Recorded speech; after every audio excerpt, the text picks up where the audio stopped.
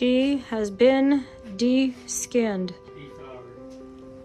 On this is the curbside, all the way down.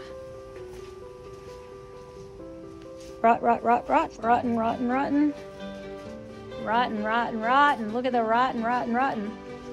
Windows. And then we got the front end. And then I'm going around to the street side.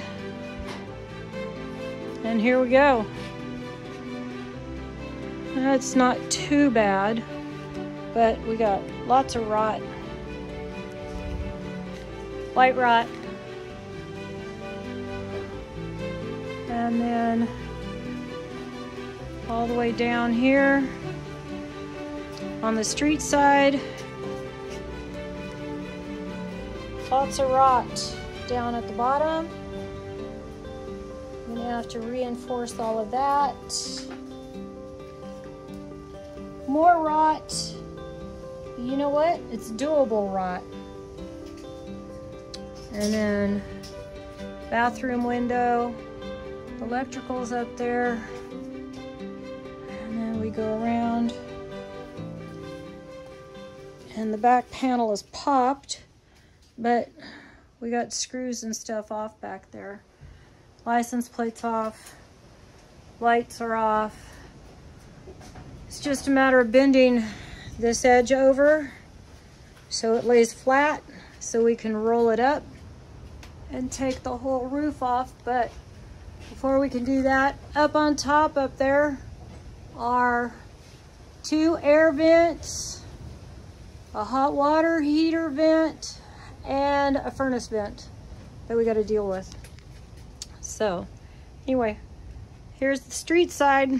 This was the um, outlet that was on the curb side right above the wheel, which was really kind of nice to have because we'd put our coffee pot right here. And that was real handy to have a outlet right there. There's the two storage uh, doors, hatches that go under the bed inside of the trailer.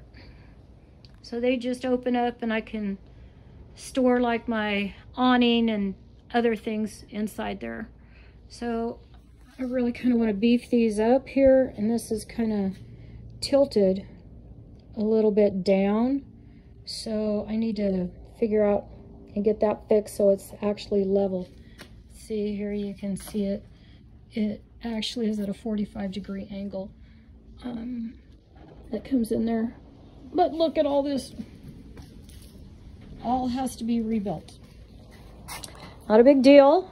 It's just taking it out and that is actually all plywood that they have, uh, when they built it with the factory, they put layer of layer of layer on top of plywood on top of plywood on top of plywood and just glued it together. So that's basically all what it is all the way around. So I got to do that. And with the cost of plywood these days, oh shit, this trailer is going to be freaking expensive. Anyway, okay, curbside. Check this out. See, there's the electrical wire going in for whatever there. But check out the ground. It's just screwed to one of the framework pieces with a nail. That's it, or a screw. So all of them are like that. Where they go into the trailer at, it's all screwed in by a nail for the ground wire. This is the kitchen window right here. That little guy right there, that is the vent for the hood for the stove. So I got to take a look and see how that's all kind of put together, but to give me an idea.